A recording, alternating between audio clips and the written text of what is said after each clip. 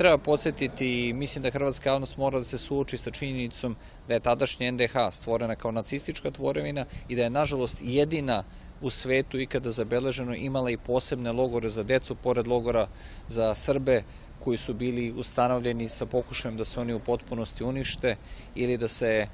da kažem, e, pokatoliče, odnosno proteruju sa teritorije Hrvatske. Pored stotina hiljada ubijenih Srba, pored logora za decu, pored monstruoznih zločina koji su počinjeni nad srpskim narodom, pred svega, naravno i nad jevrejima i romima, e, potrebno je da hrvatsko društvo prihvati takvu vrstu istorijske odgovornosti za zločine, da pokuša da shvati koliko je to bilo duboko pogrešno i koliko su ogromne razmere tih zločina, a ne da kroz, nažalost, državne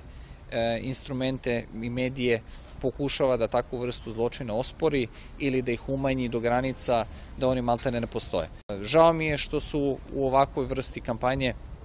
zlopotrebili i e, da kažem, predstavnike Srba koji žive u Hrvatskoj, jer to pokazuje koliko su neiskreni kad govore da su Srbi dobrodošli da se vrate na svoje ognjište ili da žele da grade sa svojim državljanima koji su srpske nacionalnosti jedno moderno društvo i istovremeno svojim odnosom prema predsedniku Srbije pokazuju koliko su neiskreni kada kažu da žele dobrosusedske ili prijateljske odnose sa okolnim zemljama. Mislim da je mnogo pametnije da se suoče sa onim što su bili teški, užasni, monstruozni ratni zločini kakvi nisu zapamćeni u svetu u vreme drugog svetskog rata i da je to jedini put kome mogu da